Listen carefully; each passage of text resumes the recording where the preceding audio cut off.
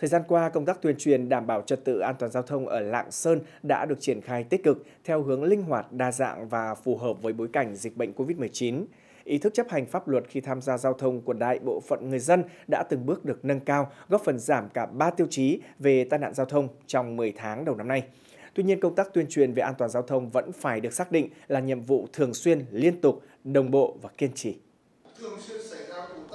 Xác định công tác tuyên truyền giáo dục pháp luật về trật tự an toàn giao thông luôn là một trong những giải pháp quan trọng để người tham gia giao thông nhận thức rõ trách nhiệm, ý thức tự giác chấp hành pháp luật về giao thông. Từ đầu năm đến nay, Ban An toàn Giao thông tỉnh Lạng Sơn đã trực tiếp ban hành nhiều văn bản triển khai đôn đốc, hướng dẫn các cấp các ngành, Ban An toàn Giao thông các huyện, thành phố thực hiện công tác tuyên truyền từ tỉnh đến cơ sở nhằm vận động người dân tự giác chấp hành tham gia giao thông có văn hóa.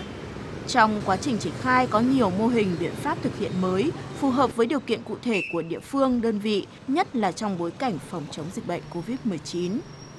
Trong 10 tháng qua, toàn tỉnh Lạng Sơn xảy ra 32 vụ tai nạn giao thông, làm chết 31 người, bị thương 8 người. So với cùng kỳ, đã giảm 4 vụ, giảm 5 người chết và 7 người bị thương. Để tiếp tục thực hiện tốt cái mục tiêu kéo giảm tai nạn giao thông trong thời gian tới,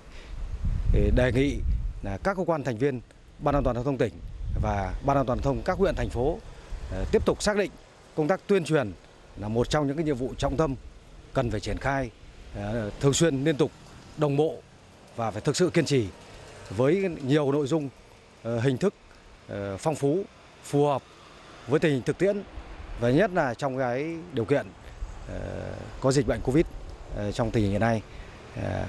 Làm sao là để Ờ, người tham gia giao thông ờ, nâng cao được cái ý thức và văn hóa khi tham gia giao thông ờ, với mục tiêu cao nhất là hạn chế vi phạm và tai nạn giao thông xảy ra trong thời gian tới. Ngay từ đầu năm, đặc biệt bước vào năm học mới, ngành giáo dục và đào tạo đã xác định công tác tuyên truyền đảm bảo an toàn giao thông trường học là nhiệm vụ quan trọng. Sở đã phối hợp với cơ quan chức năng đẩy mạnh công tác giáo dục, tuyên truyền pháp luật để đảm bảo trật tự an toàn giao thông, kỹ năng lái xe an toàn đến cán bộ, giáo viên, nhân viên, học sinh. Tiếp tục xây dựng mô hình cổng trường an toàn giao thông trong toàn tỉnh để đảm bảo an toàn giao thông đến ờ, nhóm lứa tuổi thanh thiếu niên học sinh trong thời gian tới thì ờ, ngoài sự vào cuộc quyết liệt hơn nữa của các ban ngành và lực lượng chức năng thì ờ, chúng tôi cũng đề nghị là các gia đình có biện pháp và nâng cao cái vai trò trách nhiệm trong quản lý giáo dục con em mình để nâng cao cái nhận thức và ý thức tự bảo vệ mình